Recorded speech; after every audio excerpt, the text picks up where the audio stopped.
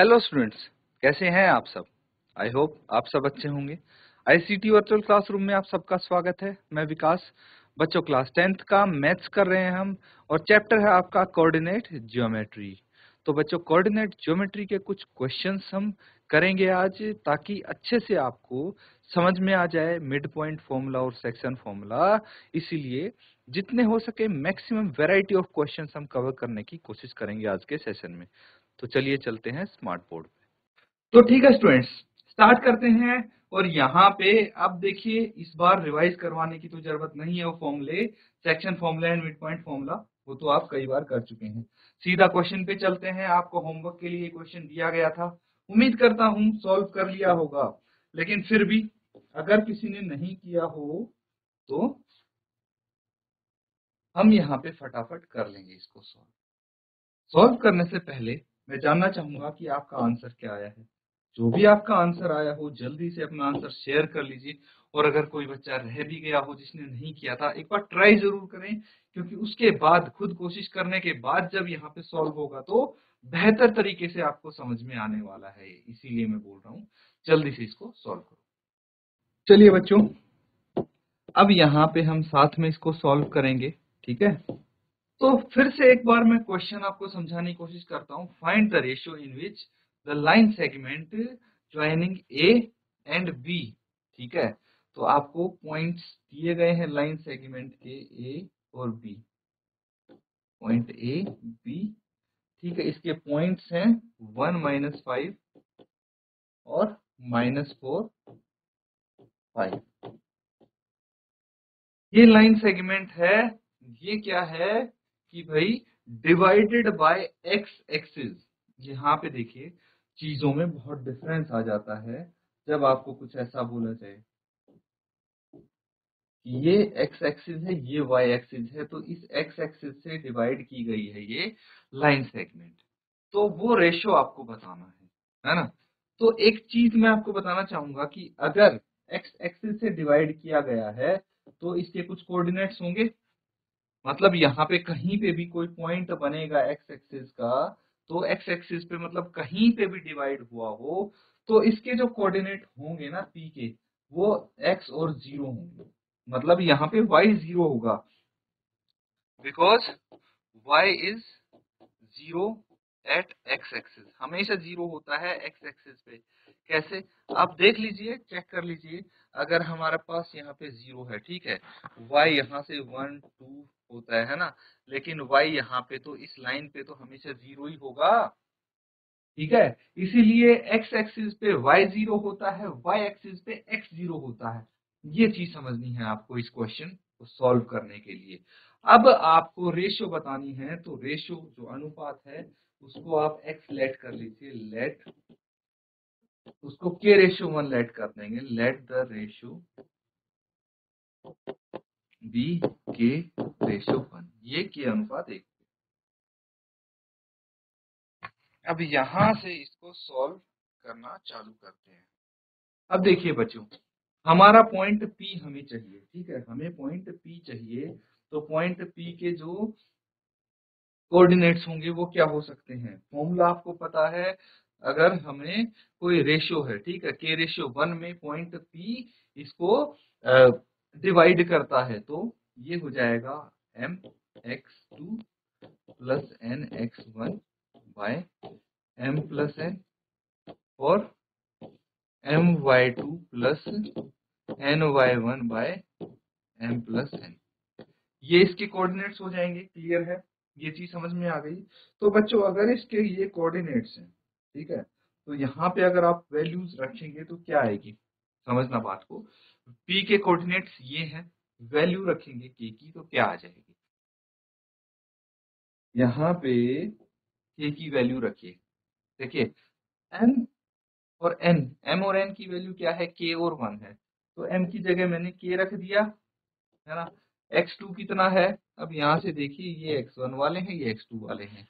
तो x two कितना है? Minus four a into minus four by उसके बाद है प्लस एन कितना है? One one into x one कितना है? One upon k plus one ठीक है बच्चों? ये आ जाएगा। उसके बाद m की जगह k लिख देंगे। y2 कितना है? 5 है। प्लस n की जगह 1 लिख देंगे। एंड y1 कितना है? Minus five upon k plus one तो p के कोऑर्डिनेट्स हमारे पास क्या आ गए, इसको फर्दर सॉल्व कर देंगे तो माइनस फोर के आ जाएगा यहाँ पे। Minus four k plus one by k plus one और ये आ जाएगा five k minus five by k plus one ये p के कोऑर्डिनेट्स अब एक चीज़ समझना कि p के कोऑर्डिनेट्स हमें पहले से ही पता है, x एक्सिस पे हैं, चाहे कहीं पे इसको इंटरसेक्ट करें, लेकिन p के कोऑर्डिनेट्स x और ज़ीरो होंगे, है ना? X और ज़ीरो होंगे। तो भाई इसको तो छोड़ दो। हमें क्या चाहिए? हमें सबसे पहले रेशियो चाहिए, अनुपात चाहिए। तो इसको तो छोड़ दो, क्योंकि ये तो x के बराबर आएगा, दो वेरिएबल हो जाएँगे, लेकिन यहाँ पे y को हम ज़ीरो से कंपेयर कर सकते हैं बिकॉज़ कोऑर्डिनेट्स ऑफ़ p हमें पता लग गया x और ज़ीरो है ना?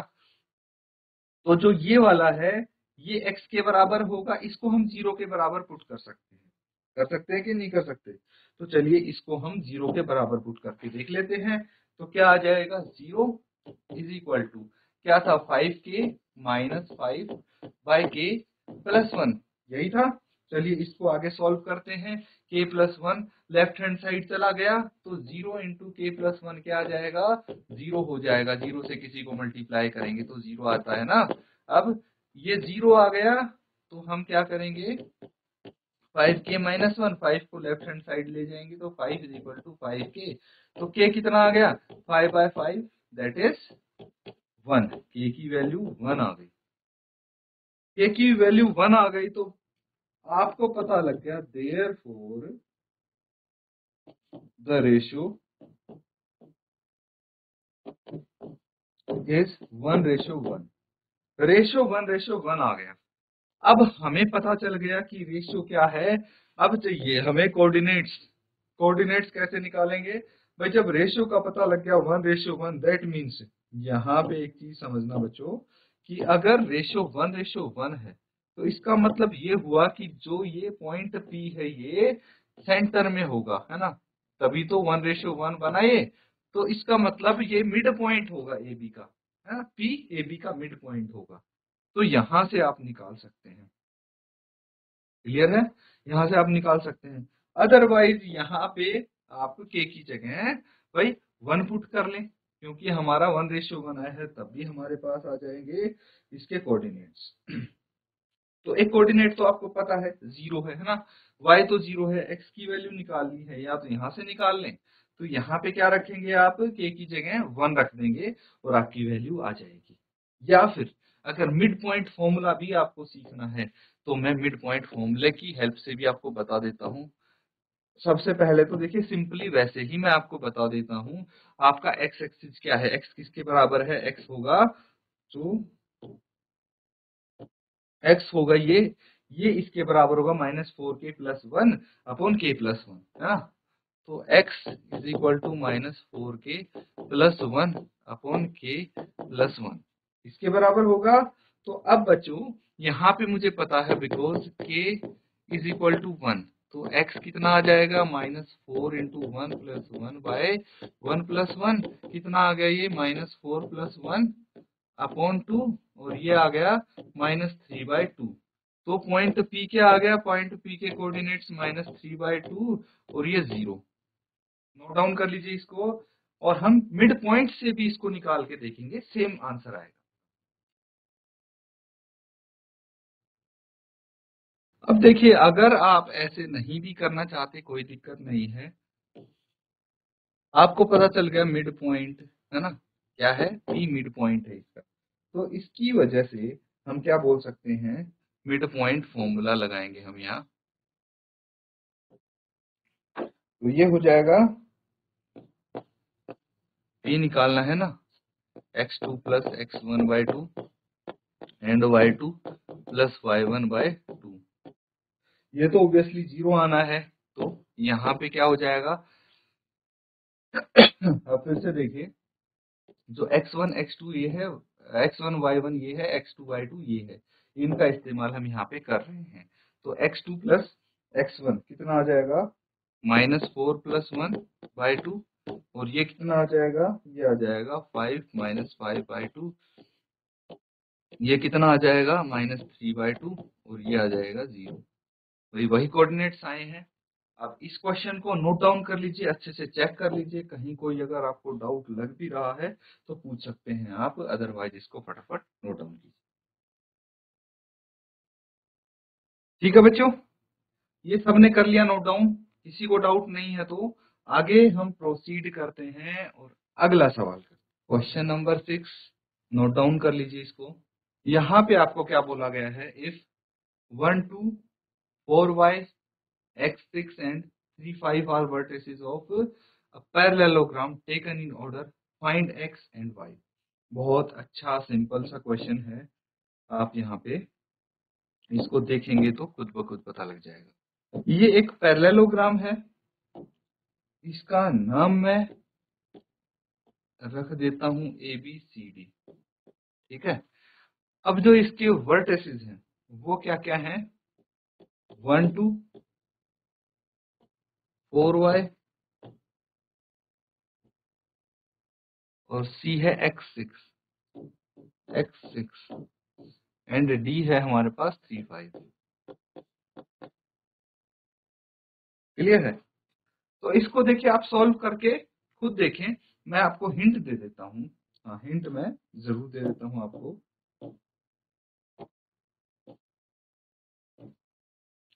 तो देखिए, अगर इसकी हम बनाते हैं डायगनल्स ठीक है? जो इसके डायगनल्स होंगे पैरेललोग्राम के, उनकी एक प्रॉपर्टी होती है बच्चों। पैरेललोग्राम के डायगनल्स की एक प्रॉपर्टी होती है। क्या होती है कि जो डायगनल्स होते हैं पैरेललोग्राम के, वो बाइसेक्ट करते हैं। Bisect each other each other bisect मतलब एक दूसरे को आधे आधे में डिवाइड करते हैं, इसका मतलब समझना कि जो ये ओ है, ये मिड पॉइंट होगा। मिड पॉइंट होगा किस किस का मिड पॉइंट होगा? ये ए सी का एंड बी डी का। जो ये इसके विकर्ण है ना बच्चों पैरेललोग्राम के, इसको हम क्या बोल सकते हैं कि ये बाइसेक्ट करते हैं एक दूसरे को मतलब जो पॉइंट ओ है जहाँ पे मिल रहे हैं, ये इसके डायगनल्स का मिड पॉइंट होगा। इतनी मैंने हिंट दे दी है आपको, जल्दी से सॉल्व करो इसको। तो बच्चों सॉल्व किया होगा आपने? उम्मीद है मुझे, कर लिया होगा, काफ़ी सारे बच्चों ने सॉल्व तो देखिए, अब इसको कैसे सॉल्व करना है, वो मैं बता देता हूँ आपको। साथ में सॉल्व करते हैं इसको। आप क्रॉस चेक भी कर सकते हैं। सबसे पहले देखिए प्रॉपर आपको लैंग्वेज लिखने की बहुत ज़रूरत है है ना, इन सब टाइप के क्वेश्चंस में। तो सबसे पहले आपको क्या बोला गया है कि भाई ये वर्टेसिस पैरेललोग्राम है और इसी ऑर्डर में ये होंगे, ठीक है? सेम ऑर्डर रहेगा इनका। तो अब आप यहाँ पे बोलेंगे लेट इसी ऑर्डर में लिख लेंगे इनको one two four y x six and three five ये सारे वर्टेसेस लिख दिए। ये बोल सकते हैं आर द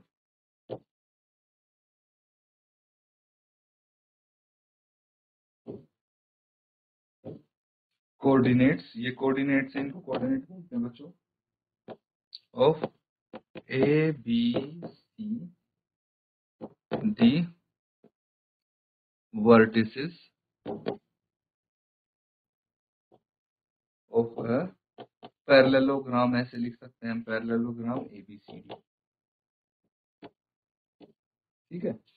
तो ये वर्टेसेस होंगे पैरेललोग्राम एबीसीडी के। ये मैंने मान लिया है। दूसरा जो हमें इसकी प्रॉपर्टी पता है पैरेललोग्राम की, वो भी लिख देंगे कि भाई जो पैरेललोग्राम है वो इसके डायगोनल्स बाइसेक्ट करते हैं एक दूसरे को। ठीक है बच्चों? तो जो इसके विकर्ण है, ये बाइसेक्ट करेंगे एक दूसरे को। हम द्विभाजित करेंगे और पैरेललोग्राम क्या हुआ? समांतर चतुर्भुज। तो यहाँ पे ये चीज़ भी लिखनी ज़रूरी है। तो एक प्रॉपर्टी आप लिख लेंगे because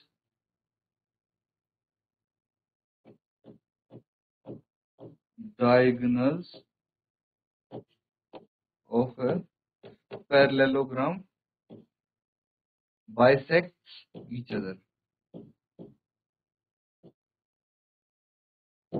Parallelogram के जो डायगोनल है वो एक दूसरे को बाइसेक्ट करेंगे तो इसकी मदद से आप ये बोल सकते हैं therefore O is the mid point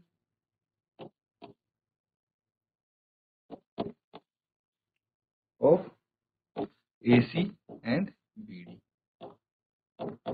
ये चीज़ हमें मिल गई है यहाँ से। अगर ये मिड पॉइंट है तो हम क्या करेंगे कि भाई AC का और BD का मिड पॉइंट निकालने की कोशिश करेंगे, है ना? तो सबसे पहले हम निकालेंगे mid point of if O is the midpoint of AC then the coordinates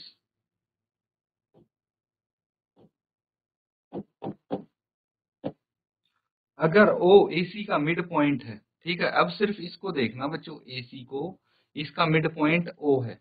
तो O के कोऑर्डिनेट कैसे आएँगे? मिड पॉइंट फॉर्मूला आपको पता है, फटाफट वो अप्लाई कर देंगे। क्या होगा? ये हो जाएगा बच्चों।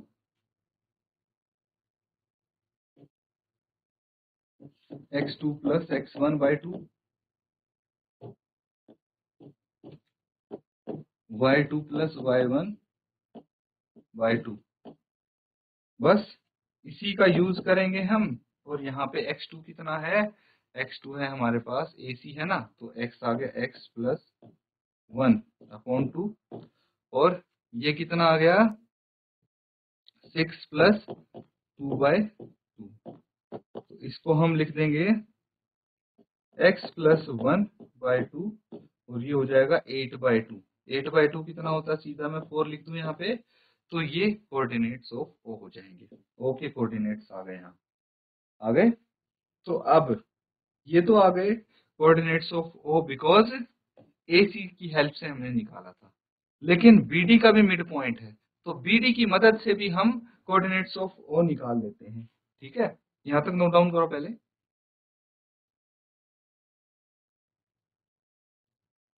ठीक है बच्चों? कर लिया नोट डाउन तो आगे करते हैं आप इसको। If O is the midpoint point of इससे पहले हमने AC का निकाला था, अब BD का भी ये मिड पॉइंट है then the coordinates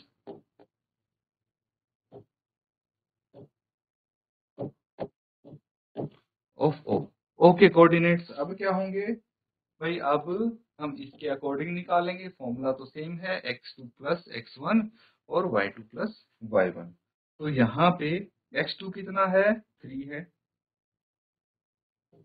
Three plus four by two और y2 है 5 5 प्लस y बाय टू। ये आ जाएँगे इसके कोऑर्डिनेट्स तो बस इसको आगे हम सॉल्व करेंगे। क्या आ जाएँगे हमारे कोऑर्डिनेट्स ये आ जाएँगे बच्चों three plus four seven seven by two और ये आ जाएगा फाइव प्लस वाई बाय ठीक है? तो अब हमें कोऑर्डिनेट्स मिल गए। ठीक है? ओके दो कोऑर्डिनेट्स मिल गए ओके लेकिन दोनों इक्वल तो होंगे, है ना? सेंस बोथ द कोऑर्डिनेट्स क्योंकि दोनों कोऑर्डिनेट सेम है है ना? एक जैसे हैं, बराबर हैं। देयरफॉर हम इनको इक्वेट कर देंगे। किसको इक्वेट करेंगे? भाई x प्लस वन जो कोऑर्डिनेट आया था बाय टू इसको हम इससे कर देंगे सेवन बाय टू से। है ना? एंड जो हमारे पास फोर आया था, वो हो जाएगा five plus y by two के बराबर। तो अब देखिए टू से टू यहाँ पे कैंसिल आउट हो गया x plus one is equal to seven x is equal to seven minus one x is equal to six आ गया। और यहाँ पे इसको क्रॉस मल्टीप्लीकेशन करेंगे तो ये eight is equal to five plus y आ जाएगा। Eight minus five is equal to y तो three is equal to y मतलब वाई कितना आ गया आपका? तीन आ गया। तो एक्स और वाई की वैल्यू हमारे पास आ गई है। इस तरह से नोट डाउन कर लीजिए इसको। ठीक है बच्चों, ये सबने कर लिया है नोट डाउन अगर डाउट है कुछ तो पूछ सकते हैं अभी भी। अदरवाइज़ अगला सवाल हम करेंगे। Question number seven note down कीजिए इसको। यहाँ पे आपको बोला गया find the coordinates of a point A, where AB is the diameter of a circle whose center is 2 minus 3 and B is 1 4 तो यहाँ पे बोला जा रहा है बच्चों बिंदु ए के निर्देशांक ज्ञात कीजिए, जहाँ बी एक वृत्त का व्यास है तथा जिसका केंद्र दो माइनस तीन है तथा बी के निर्देशांक एक चार है। तो मैं अगर डायग्राम बनाऊँगा, ज़्यादा अच्छे से समझ में आएगा आपको। ये एक सर्कल हो गया, वृत्त हो गया। इसका एक डायामीटर है, ठीक है? डायामीटर बनाने के लिए पहले हम सेंटर इसका ले लेंगे। तो डायमीटर क्या होता है? व्यास होता है बच्चों, जो इस व्रत का व्यास है, वो इसके कई सेंटर से होके गुजरता है। सेंटर को हम ओ ले लेते हैं। ये ए हो गया, इसकी दूसरा पॉइंट बी हो गया। तो आपको क्या बोला गया है? जो ये ए है, इसके कोऑर्डिनेट्स आपको फाइंड आउट करने हैं, ठीक है? इसके कोऑर्डिनेट्स हमें नहीं पता। तो आपको किसके कोऑर्डिनेट्स पता है फिर? देखिए, ये x1 y1 हो गए। हमें x2 y2 पता है, b के कोऑर्डिनेट्स पता है, क्या है? 1 4 है, लिख लीजिए 1 4 b के कोऑर्डिनेट्स हो गए और o के कोऑर्डिनेट्स भी पता है हमें। O के कोऑर्डिनेट्स कितने हो गए? ये हो गए बच्चों 2 माइनस थ्री क्लियर है? अब इसकी मदद से हम इसको सॉल्व करेंगे और a के कोऑर्डिनेट्स निकालेंगे। अब यहाँ पे अगर आप सेंटर फॉर्मूला यूज़ करेंगे तो क्या पहली बात तो ये है, क्या इस क्वेश्चन में हम मिड पॉइंट फॉर्मूला यूज़ कर सकते हैं या नहीं? तो ये सोचना है आपको। ये सोचने के लिए हमें ये देखना पड़ेगा कि ये जो डायमीटर है इसका, ठीक है, इसको दो भागों में बांट के देखते हैं। भाई ए से जो पॉइंट ओ है सेंटर है, वहाँ तक क्या है? आर है। पॉइंट ओ से बी तक भी आर है। मतलब रेडियस होते हैं ना रेडियस तो बराबर ही होगा। तो ये दोनों क्या है? रेडियस है। इसीलिए इसीलिए जो O है वो इसका मध्य बिंदु होगा बिकॉज़ ये O इसको वन रेशो वन में विभाजित करता है। दैट इज़ वाई हम इसमें मिड पॉइंट फॉर्मूला तो यूज़ कर सकते हैं, लेकिन अगर आपने ऐसा कुछ करने की कोशिश की कि भाई two plus one by two इस x की वैल्यू आ जाएगी तो वो गलत हो जाएगा। क्यों? क्योंकि मिड पॉइंट फॉर्मूला में जो वैल्यू आती है, वो आती है उन कोऑर्डिनेट्स की जो मिड पॉइंट पे होते हैं, बीच में होते हैं। इसीलिए हम इसको इस तरीके से सॉल्व करेंगे। जल्दी से इसको आगे आप सॉल्व करके बताइए क्या आंसर आता है आपका और इसके एक एक कोऑर्डिनेट्स बता दीजिए मुझे। तो बच्चों, इसको फटाफट सॉल्व कर लेते हैं हम। सबसे पहले आपसे जो पूछा गया है कोऑर्डिनेट्स ऑफ़ बी उनको मान लेते हैं। Let coordinates coordinates of A क्या हो जाएगा? एक्स वन वाई वन मान लिया हमने। उसके बाद? इसके बाद बच्चों, हमें पता है कि जो मिड पॉइंट है mid point of A B is two minus three ये मिड पॉइंट है ए बी का। Which is center of circle. यहाँ पे लिख दिया मैंने थोड़ा टेढ़ा चला गया बट यहाँ पे इंपॉर्टेंट चीज़ ये है समझने की कि जो मिड पॉइंट है, वो क्या है? टू माइनस थ्री और यहाँ पे हम मिड पॉइंट फॉर्मूला लगा के इसका मिड पॉइंट निकालने की कोशिश करते हैं ए और बी का। तो क्या हो जाएगा? मिड पॉइंट फॉर्मूला तो आपको पता है x two plus x one y two plus y one बस तो एक्स टू कितना है? वन है और एक्स वन यहाँ पे ऑलरेडी एक्स वन है। अपॉन टू फिर वाई टू कितना है? फोर है एंड वाई वन ऑलरेडी आपको गिवन है अपॉन टू तो देखिए, अब इनको हम कंपेयर कर सकते हैं बच्चों। टू के साथ वन प्लस एक्स को लिख सकते हैं, है ना? तो implies that two is equal to one plus x one by two है। इसको लेफ़्ट हैंड साइड ले आइए। ये four is equal to one plus x one हो गया और इसको लेफ़्ट हैंड साइड लाएँगे वन को तो ये four minus one is equal to x हो गया। तो कितना आ जाएगा ये? ये आ जाएगा x is equal to three x कितना आ गया? थ्री आ गया यहाँ पे। अब सिमिलरली हम अगर इसको कंपेयर करेंगे किसको? जो हमारे पास यहीं पे कर लेते हैं, हम एक काम करते हैं इसको। एक्स यहाँ पे लिख देता हूँ मैं थ्री एंड जो हमारे पास माइनस थ्री है, वो किसके बराबर होगा? Four plus y one by two के बराबर. टू को लेफ़्ट हैंड साइड लाइए तो minus six is equal to four plus y one और फोर को लेफ़्ट हैंड साइड लाइए तो minus six minus four is equal to y one तो वाई वन कितना आ गया? माइनस टेन आ गया. तो भाई एक्स वन और वाई वन हमारे पास आ गए हैं। तो हमें कोऑर्डिनेट्स चाहिए थे, है ना? तो आप लिख सकते हैं देयर फोर कोऑर्डिनेट्स नेट्स ऑफ़ ए क्या हो जाएँगे?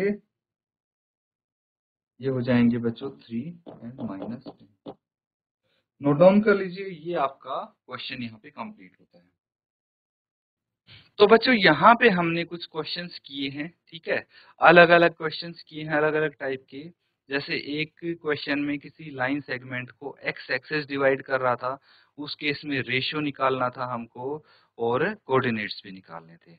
फिर एक पैरेललोग्राम का क्वेश्चन लिया हमने। पैरेललोग्राम के केस में भाई उसके कोऑर्डिनेट्स कैसे हम पता लगाएँ और उसके बाद सर्कल के केस में हम कोऑर्डिनेट्स कैसे पता लगाएँ, ये सब हमने प्रैक्टिस किए हैं क्वेश्चंस बच्चों, आपको घर पे जाके इनको रिवाइज करना है अच्छे से और इस टाइप के क्वेश्चन आप प्रैक्टिस कर सकते हैं। इसी के साथ आज का सेशन यहाँ पे हम एंड करते हैं। Thank you and have nice day